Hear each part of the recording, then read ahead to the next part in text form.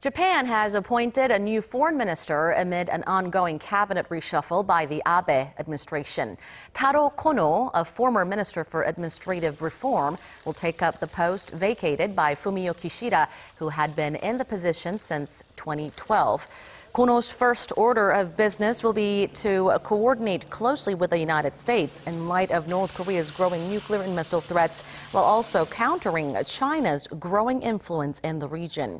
Kishida is set to be named the chair of a policy council run by the ruling Liberal Democratic Party, a step that could allow him to run for the party's leadership.